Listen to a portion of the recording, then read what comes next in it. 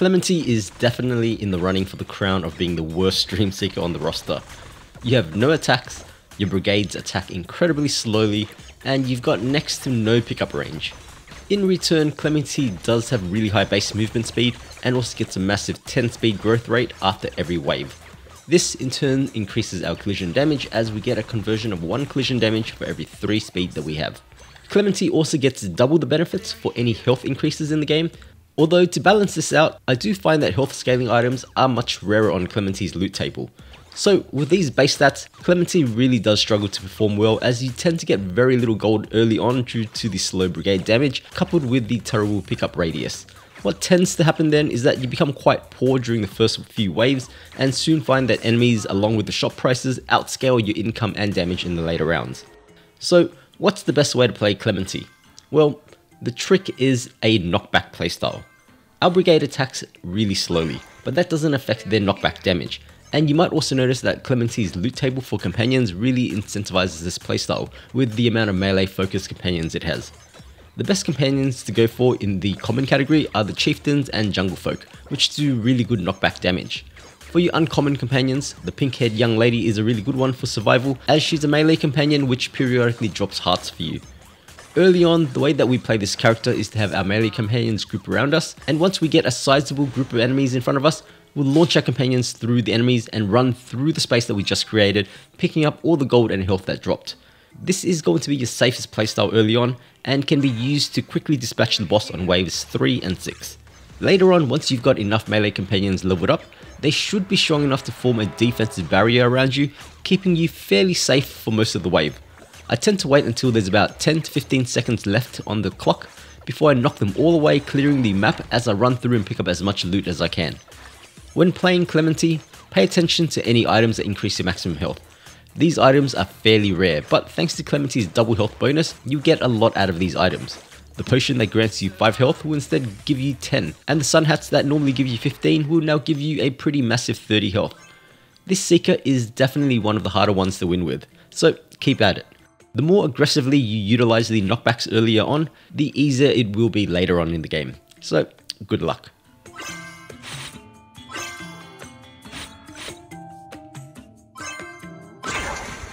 They're here.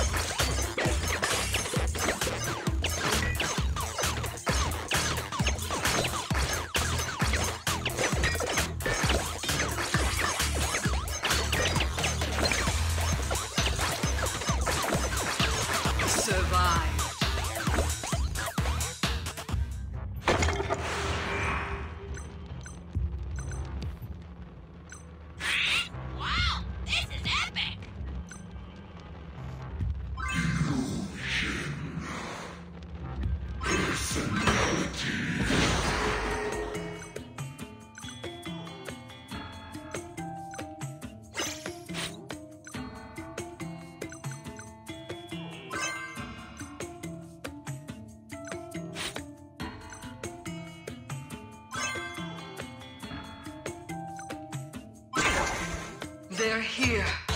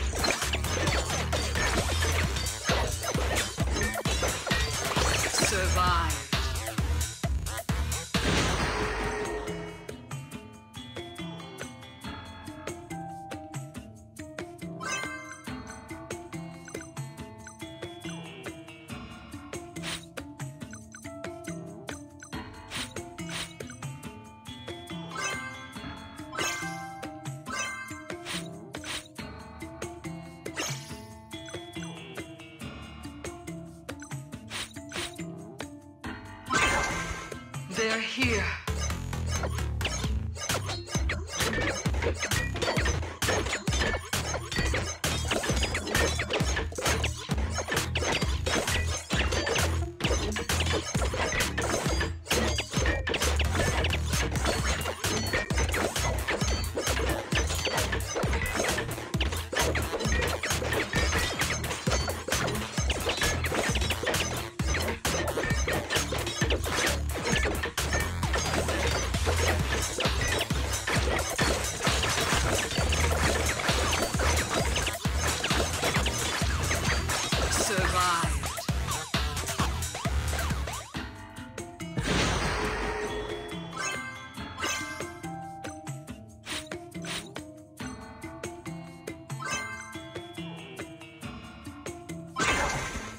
They're here.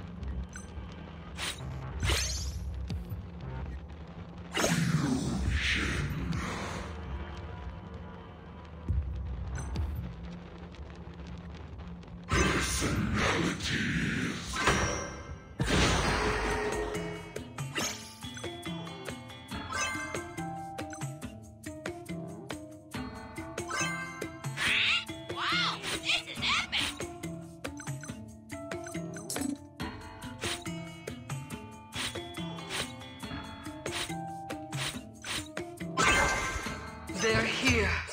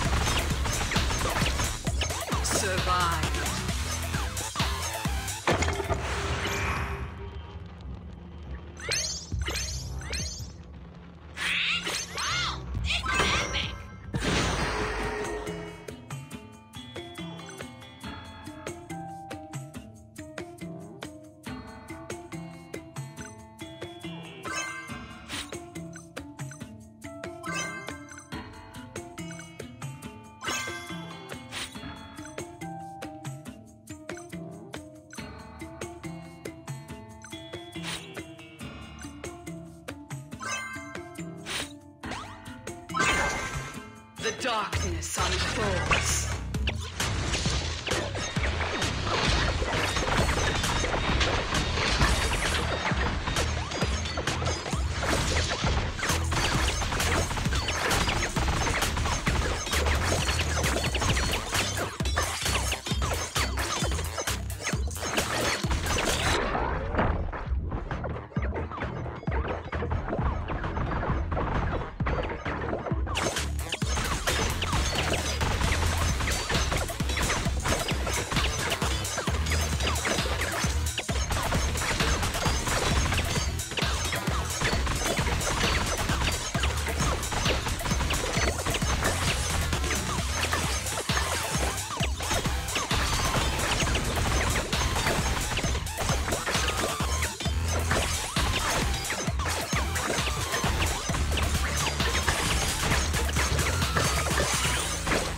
history.